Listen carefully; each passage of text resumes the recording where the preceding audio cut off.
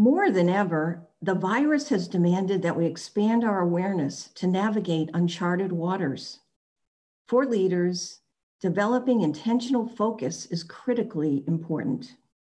Neuroscientists study how to expand awareness, neural structure, and function while increasing our capacities to respond rather than react. To deepen your capacity for awareness, the use of tools such as mindfulness and meditation can be helpful. Make a daily commitment to spend a few minutes quieting the mind's distractions to more fully experience what is actually happening in yourself, how you experience the world and those in it.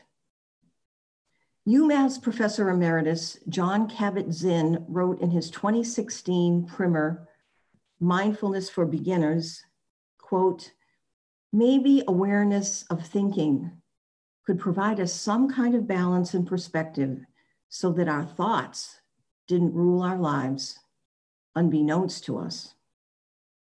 Lead well this week.